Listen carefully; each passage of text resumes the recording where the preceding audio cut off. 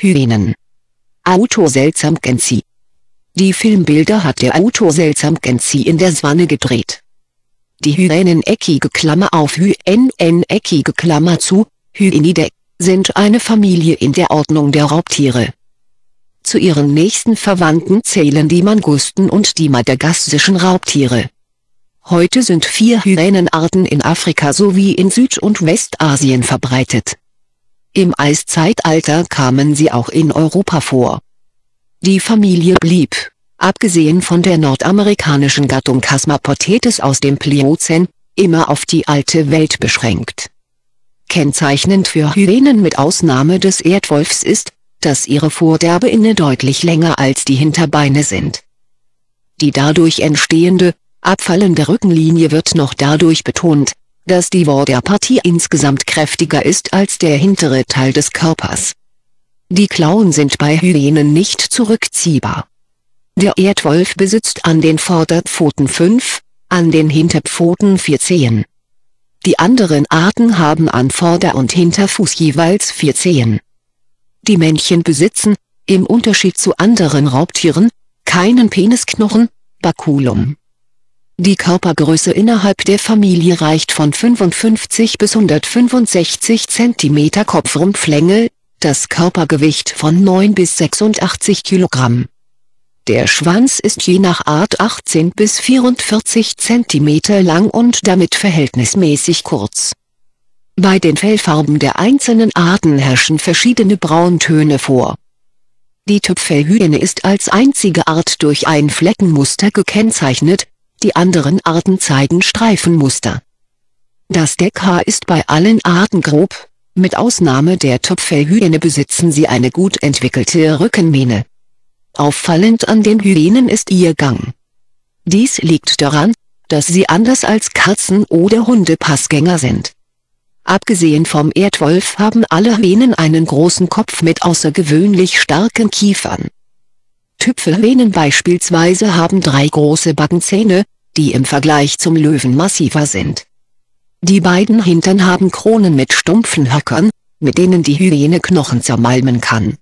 Eckige Klammer auf 1 Eckige Klammer zu beim Erdwolf sind die Backenzähne dagegen zurückentwickelt, weit auseinander und die Reißzähne nicht als Brechschere ausgebildet. Die Eckzähne sind dagegen auch bei dieser Art recht lang und dienen als Waffen.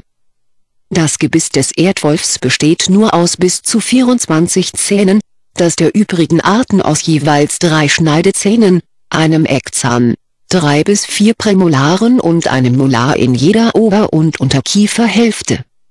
Die Hyänen gelten allgemein als Aasfresser und haben keinen sonderlich guten Ruf.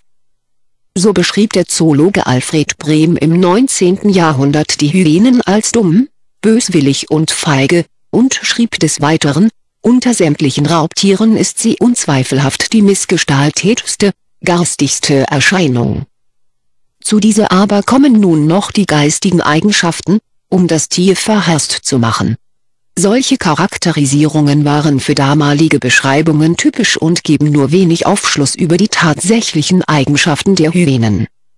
Nach heutigen Erkenntnissen kann man kaum etwas Allgemeingültiges über die Lebensweise der Hyänen sagen.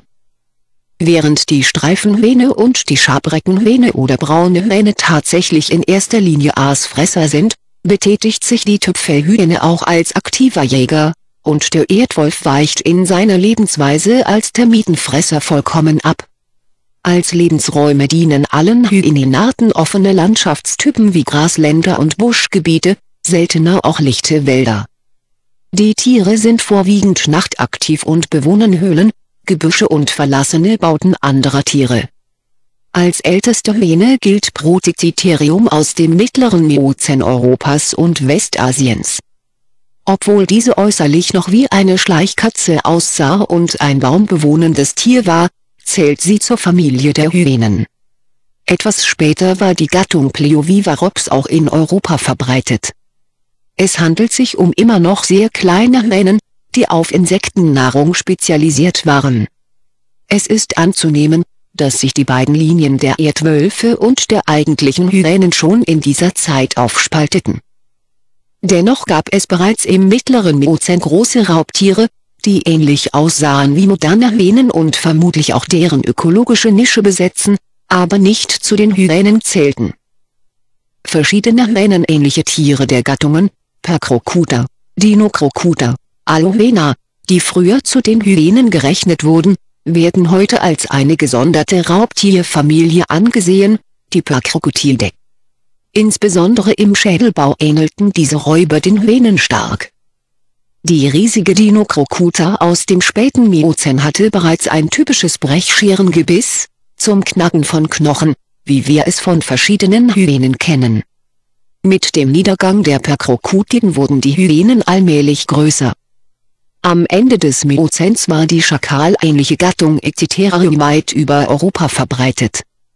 Es gab daneben große Aasfresser, Artcrocuta, räuberische Hyänen, Lycurena und Hyenictis, und eine Gattung, die sogar nach Nordamerika gelangte, Chasmapotetes.